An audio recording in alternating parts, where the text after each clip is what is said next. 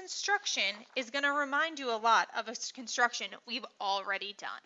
So we are going to construct a line that is perpendicular to a line, point that is on the line. So first, you'll be given a line and a point.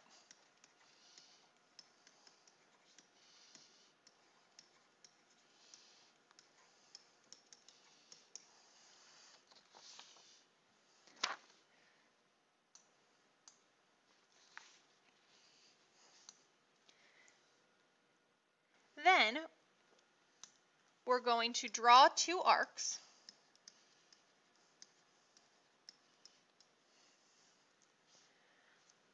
From the point on the line.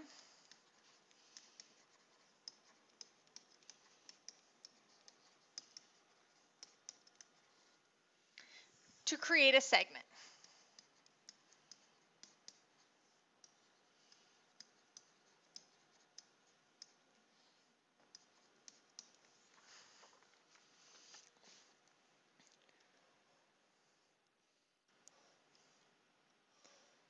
I'm going to make my compass a little bit smaller because our line up there is not that big.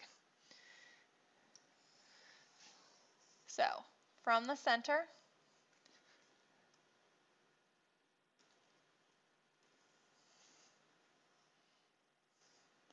I'm going to draw an arc on this side.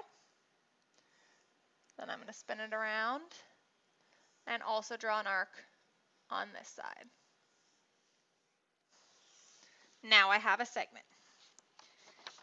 Now, the steps are the same.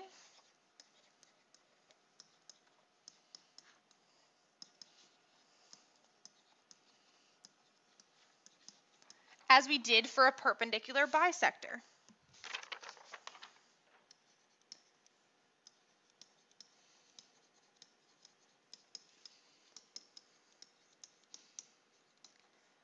Those are on your notes from 1.3a if you need to look back.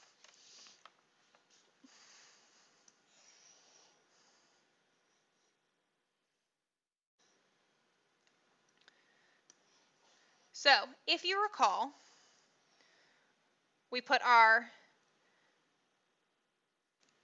center of our compass on one of the endpoints. We make sure that our compass is open a little more than halfway. So I'm going to go a little bit past P. Then we want to draw an arc that goes above and below.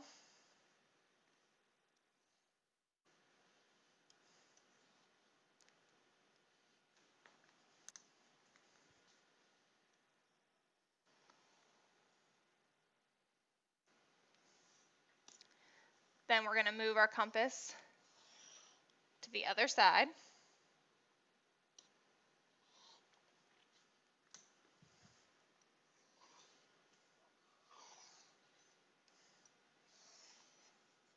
Center the compass to the other endpoint.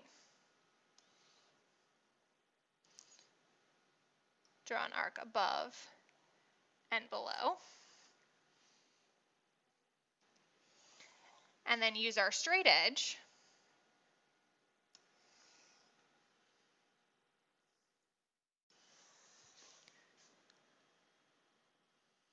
Make sure it goes through the intersection of both points.